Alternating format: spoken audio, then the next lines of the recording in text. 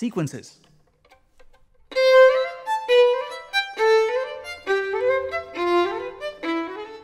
almost like a happy moment within this grave dance. Using a lot of bow speed, um, I can kind of create a, a, a springier version of these sequences.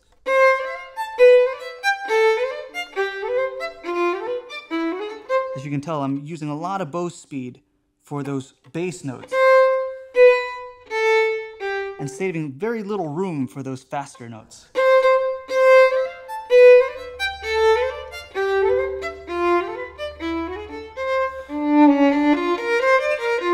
so that it has this springy nature to it.